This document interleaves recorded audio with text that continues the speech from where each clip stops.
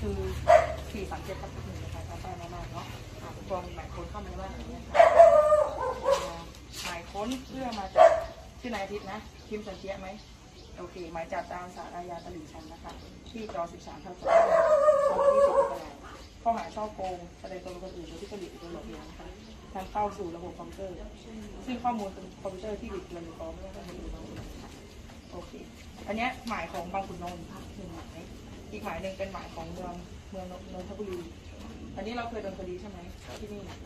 แล้วน่าจะหนีประกันหรือเปล่า ไม่ได้มีไม่ได้หนีแต่ไม่ได้ไปฟ้อง ไม่ได้ไปฟังคำพิพากษาเขาก็เลยออกหมายจับอีกรอบหนึงอันนี้หมายเป็นหมายที่ 40ทับ65ลงวันที่ 24มกราคมมีสองหมายนะคะ